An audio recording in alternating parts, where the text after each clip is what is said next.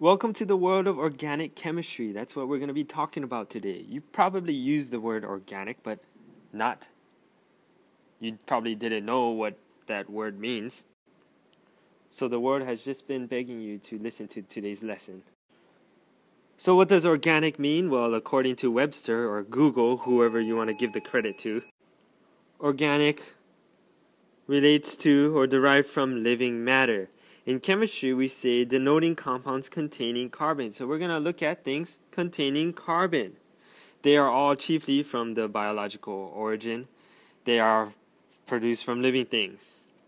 In food or farming, you probably hear this word used a lot to described organic foods. It's produced involving production without the use of chemical fertilizers, pesticides, or artificial agents. You don't want any artificial things or pesticides in your food. That's why organic food costs more.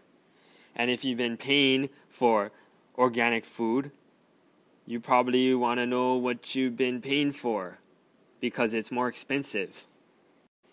Yesterday I went to the grocery store and I was shopping for apples and then there was an apple that was organic and it was costed more than the one that wasn't organic. Good thing I knew what organic meant, otherwise I wouldn't understand why they're charging me extra. But don't worry, after this lesson, you'll understand what organic means a little more deeply. Want to first start you off with uh, a group of organic compounds called hydrocarbons.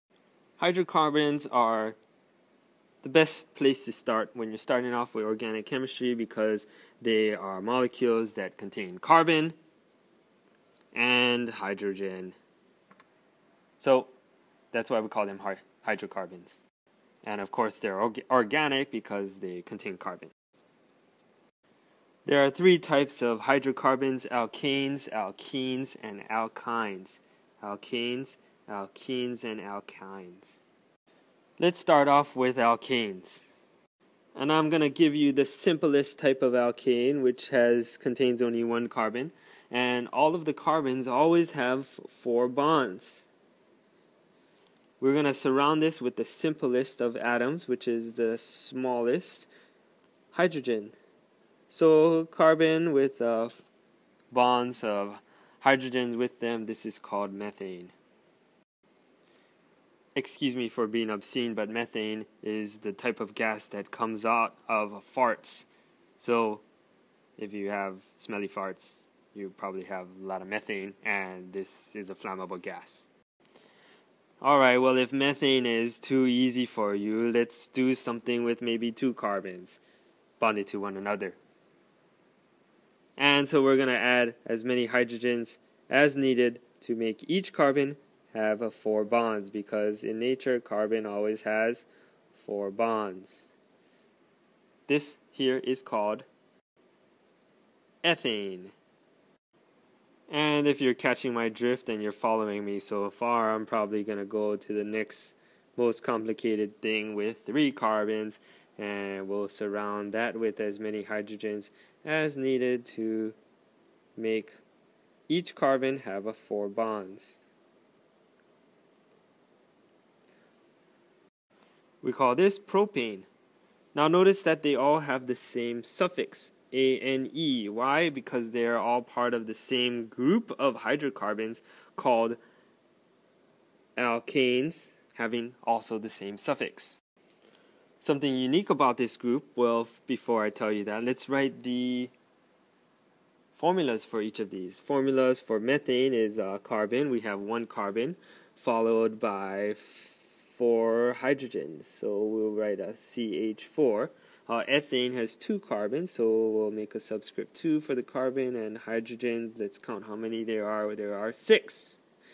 And propane, there'd be C3. H, how many carbons are there? Well, there's 3, 4, 5, 6, 7, 8.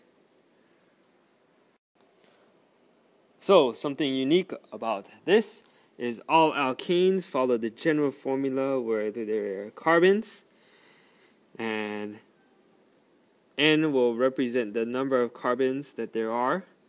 Uh, there are also hydrogens, and for for every for the amount of hydrogens there are, there are two times the amount of carbons plus two.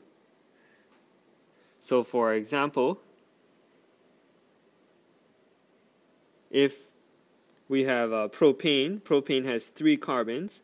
Okay, so if n equals 3, then uh, the amount of hydrogens is going to be 2 times 3, or 2 times n, which is 6, plus 2, which is 8. So C3H8. So without drawing, you probably can determine the next molecule. If it had uh, 4 carbons, how many hydrogens would it be able to have? You probably can predict this without drawing it. Well, it's H uh, well, 4 times 2 is 8 plus 2 is 10. And this is the formula for butane.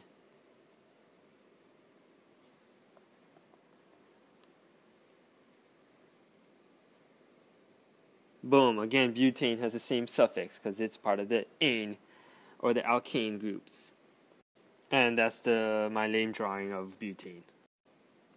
So all of these have the same suffix, so you don't have to suffer. They all end in A N E because they're all parts of alkanes. Now, where do we get the prefix from? Well, you just follow a simple chart. Ta-da! This is the chart. So we've already talked about the uh, methane, ethane, propane, and butane, and the rest of them are the same as you would use in a geometry class. For example, pentane is a shape with uh, five sides, five sided figure, pentagon. Uh, hexane, heptane, octane, same as octopus, having eight legs, nonane, and uh, decane.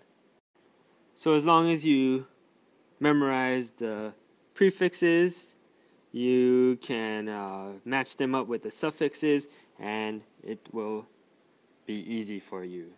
Well, what about alkenes and alkynes? They have different uh, suffixes, and we're going to go over those. So let's talk about the difference between all of them. The alkanes have all of the carbons having a single bond. Alkenes have at least one of the carbons will have a double bond, and alkynes, at least one of the carbons will have a triple bond. And just to get nitty gritty, if something has a triple bond and a single bond, we go to the one with the most, and we'll still call it an alkyne or if something has a double bonds and single bonds, we'll call it an alkene. For alkenes and alkynes, the general formula will be for alkenes first is uh, CN and H2N, and for alkynes, the general formula will be CN H2N minus 2. Let's see how that works and do a few examples. So for one of our examples, we'll start with the um, hydrocarbon, uh, the alkane, and then we'll try to turn that into an alkene. So uh, we'll do propane here on the right, and we're going to change that into an alkene. At least one of the carbons have to have a double bond. So we'll have uh, three carbons again, and at least one of them has a double bond. Doesn't matter which one, that carbon will have a double bond. Then I can go ahead and add all of the hydrogens in order for each carbon to have a uh, to have four bonds.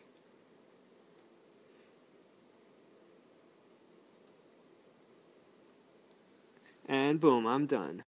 So that's propene, again having the ene suffix because it's an alkene. And then let's try to look at the formula. Now when I did the formula, it has three carbons, and for hydrogens, we can count three, four, five, six. Hydrogens is uh, six hydrogens. Now, when I did a double bond to the carbon, that made less rooms for the surrounding hydrogens to be on there because each carbon needs its four bonds. So there's uh, three three carbons and six hydrogens, and it follows our formula. Uh, CN and H2 times N. So 3 times 2 is 6, and it follows this alkene formula. So with the same formula, you can probably continue on and go on to butene. If there are four carbons, then there's going to be 4 times 2 hydrogens. Ta-da! And again, my lame drawing of butene doesn't matter where the double bond was, I just chose it to be on those other two carbons, but no matter where they are, they're still called butene. And this lecture wouldn't be complete unless I also talked about the alkynes. So here goes. Propyne would have three carbons again, but uh, for hydrogens it would have 2 times 3 minus 2, which is 6 minus 2, which is 4. And for butene we would still have 4 carbons, but the hydrogens would be 4 times 2 minus 2, which is 6. And we are always using the same formulas that were given from the general formula that was right over here. For the alkynes, three carbons will give you H.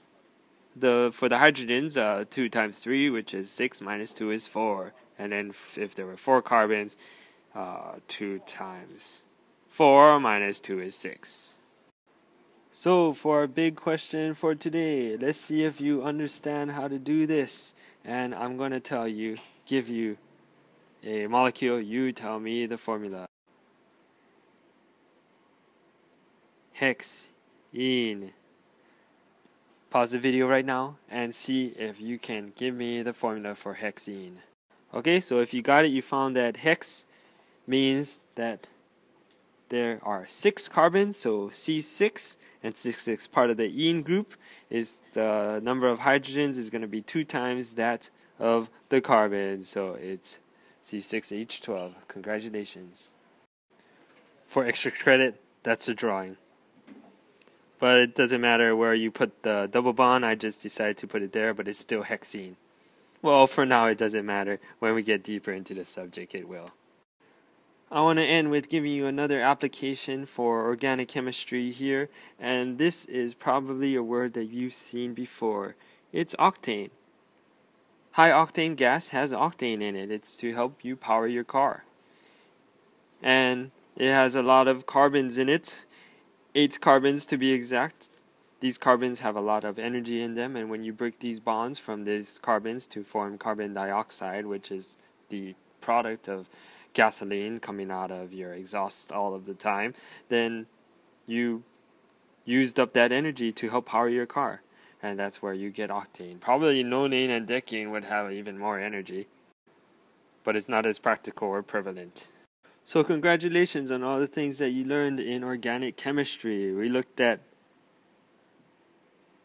all of this stuff. Wow, look at all this.